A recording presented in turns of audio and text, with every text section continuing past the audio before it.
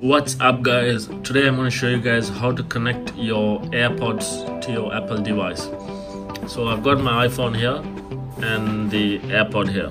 So to, just to connect it, just go to your home menu and then open your AirPod.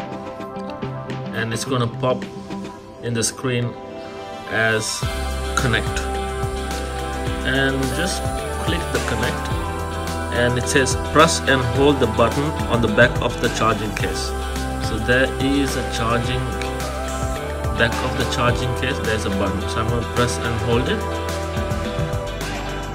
And then it says connecting I'm not to leave it.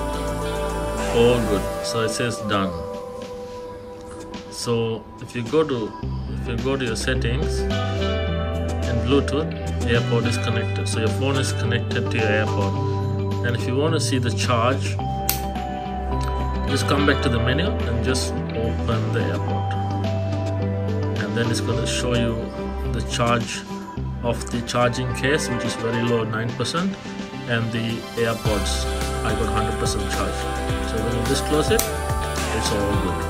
That's the simple way to connect uh, your AirPod if you're wondering how to connect and uh, use it so thanks for watching guys. Thank you so much. Please do subscribe